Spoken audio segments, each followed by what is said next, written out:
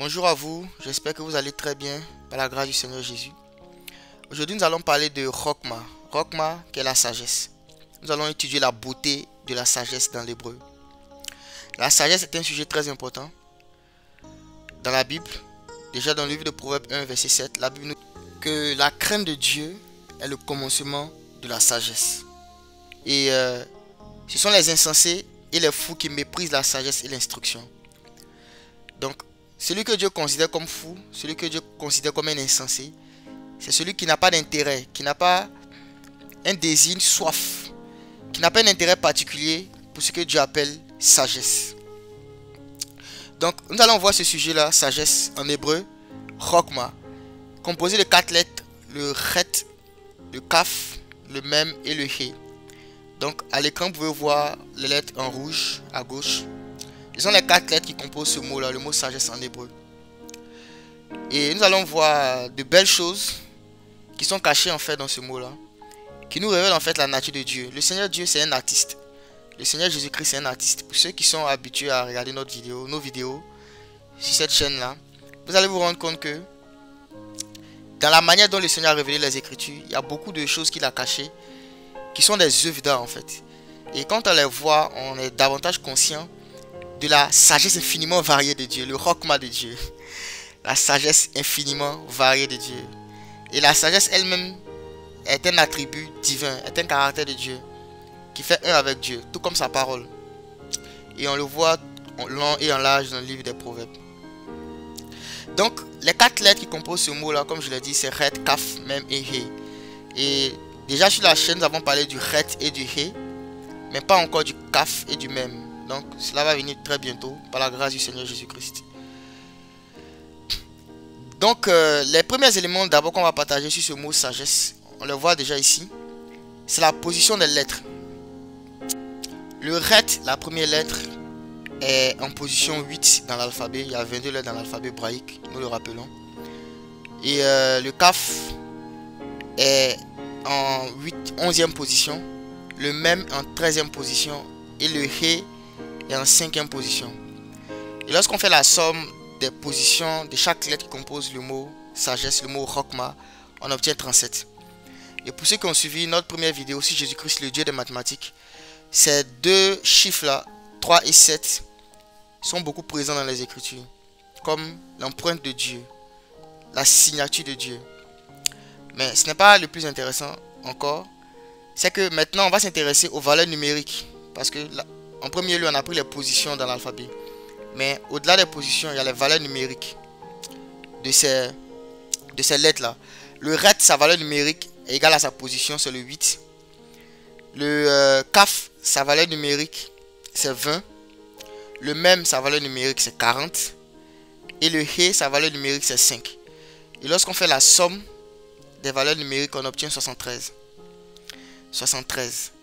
Donc, 7 et 3 encore apparaissent dans le mot sagesse. Et pourquoi est-ce que je commence par parler de ces deux choses-là? Lisons ensemble Jérémie 51, verset 15. La Bible dit, il a créé la terre par sa puissance. Il a fondé le monde par sa sagesse. Il étendit les cieux par son intelligence. Donc, le Seigneur a fondé le monde par sa sagesse.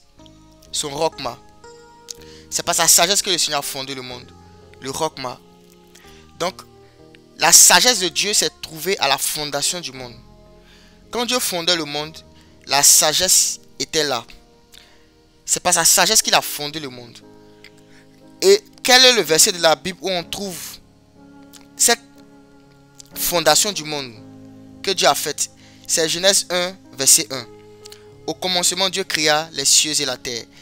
Donc, quand Dieu créa les cieux et la terre, dans ce verset-là, la Bible dit que le fondement ou encore la fondation de cette action qui s'est passée dans ce verset-là, c'était Rockma, la sagesse de Dieu. Et Dieu Seigneur a caché cela de manière extraordinaire dans, la, dans les valeurs numériques en fait. Parce que Genèse 1, verset 1 est un verset en hébreu qui est composé de 7 mots. Et ces 7 mots-là, lorsqu'on fait la somme de leurs valeurs numériques, ça nous donne 2701. 2701. Seulement Genèse 1, verset 1. Au commencement, Dieu créa les cieux et la terre. Bereshit bara Elohim et à Shamaim, va être à Aret. Donc, ces sept mots-là, lorsqu'on fait la somme de leur valeur numérique, on obtient 2701. Et 2701, figurez-vous que c'est exactement 37 fois 73. 37 fois 73. 37, c'est la valeur numérique de Rockma lorsqu'on considère les positions des lettres.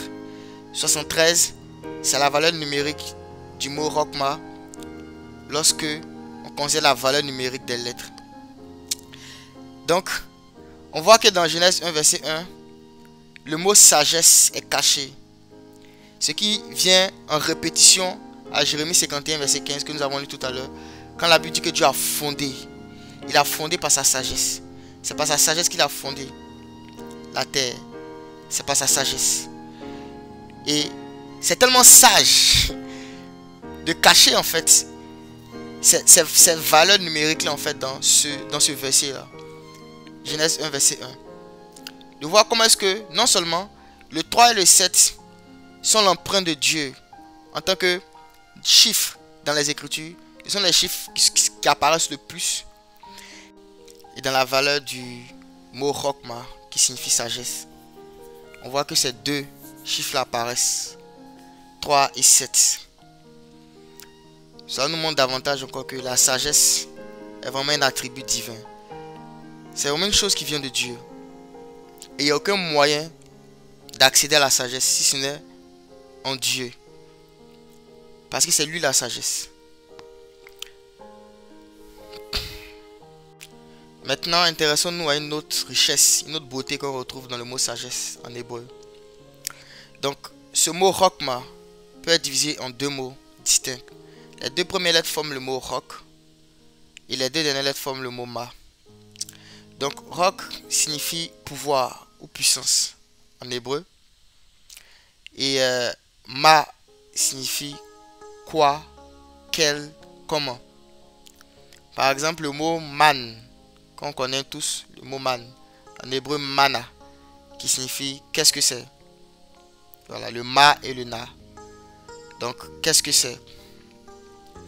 Donc, sagesse, c'est pouvoir et quoi? Pouvoir et quel? Ou encore pouvoir et comment? Donc, dans la sagesse hébraïque et dans la sagesse divine, le mot sagesse ramène au pouvoir ou encore à la puissance du quoi? Au pouvoir ou à la puissance duquel?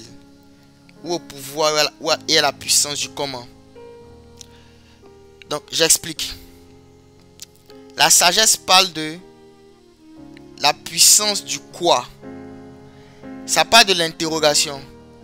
Lorsqu'on demande quoi, lorsqu'on demande quel, lorsqu'on demande comment, ça part de l'intérêt pour la compréhension, l'intérêt pour la l'explication.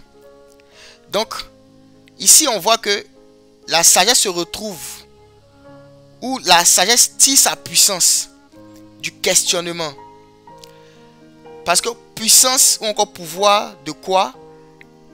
Ça nous montre en fait que la sagesse ou encore la source de la sagesse, c'est le questionnement. C'est la recherche de la compréhension. C'est la recherche du pourquoi, du comment, du quel.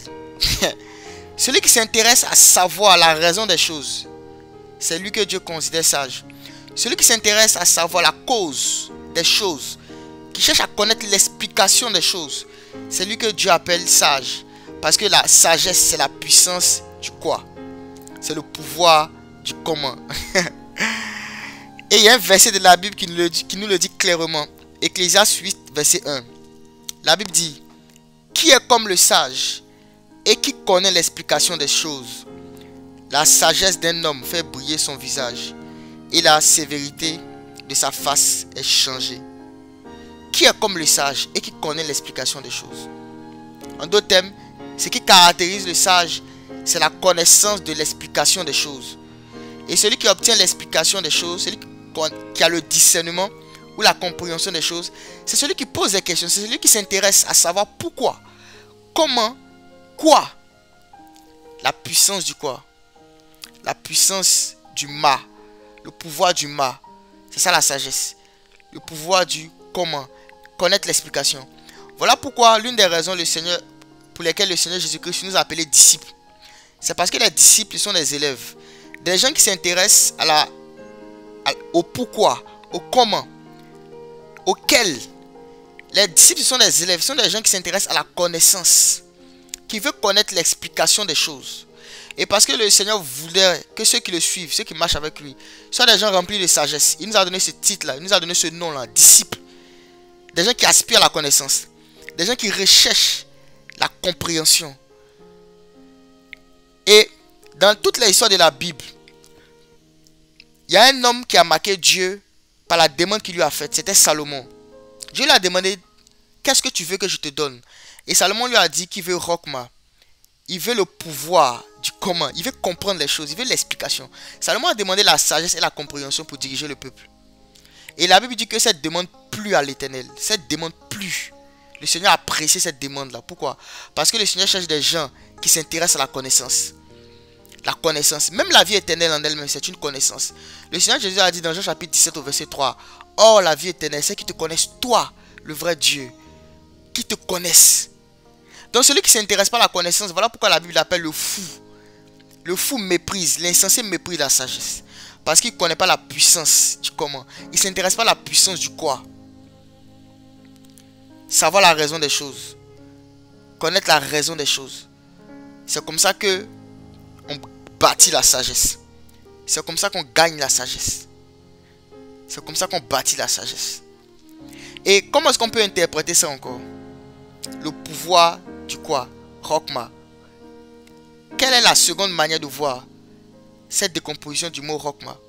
C'est que on peut voir Rokma comme quelle est la puissance ou comment se manifeste la puissance ou qu'est-ce que c'est que la puissance? C'est quoi la puissance? C'est quoi le pouvoir?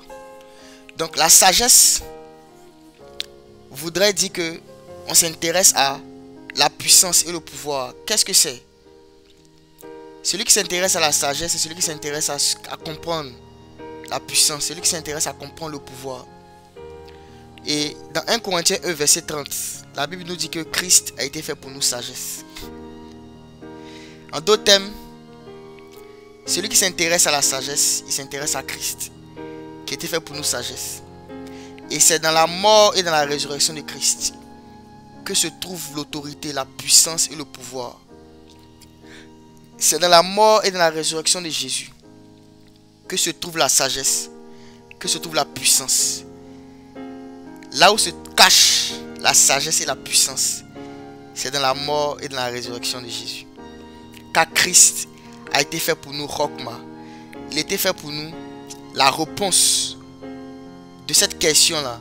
Qu'est-ce que la puissance? Ma rock. Qu'est-ce que la puissance? Et Christ a été fait sagesse dans le sens où il est la réponse à cette question. Qu'est-ce que la puissance? Ainsi, celui qui cherche une vraie puissance doit s'intéresser à l'œuvre de la croix, la mort et la résurrection du Fils de Dieu. Donc, euh, que le Seigneur vous bénisse. On se dit à bientôt pour d'autres partages sur Jésus-Christ.